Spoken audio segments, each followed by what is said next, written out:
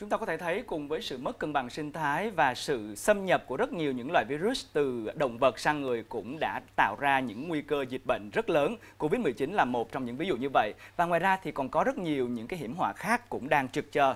Ngày 21 tháng 5 thì Israel và Thụy Sĩ cũng đã xác nhận trường hợp mắc ca bệnh đậu mùa khỉ đầu tiên. Tổ chức Y tế Thế giới WHO cho biết nhiều khả năng sẽ phát hiện thêm nhiều các trường hợp mắc các bệnh đậu mùa khỉ trong bối cảnh cơ quan này đang mở rộng theo dõi tại các quốc gia thường không ghi nhận các ca mắc bệnh này trên thế giới. Tính đến ngày 21 tháng 5, đã có 92 ca mắc bệnh đậu mùa khỉ và 28 ca nghi mắc bệnh này tại 12 quốc gia thành viên của WHO. WHO cũng cho biết sẽ cung cấp thêm hướng dẫn và khuyến nghị trong những ngày tới cho các quốc gia về cách giảm thiểu sự lây lan của bệnh đậu mùa khỉ. Theo đó, các bằng chứng hiện tại cho thấy có sự lây chuyển từ người sang người ở những người tiếp xúc gần về thể chất với các trường hợp có triệu chứng bệnh. Một số quốc gia đã bắt đầu tiêm chủng bằng vaccine phòng bệnh đậu mùa để ngăn ngừa bệnh đậu mùa khỉ.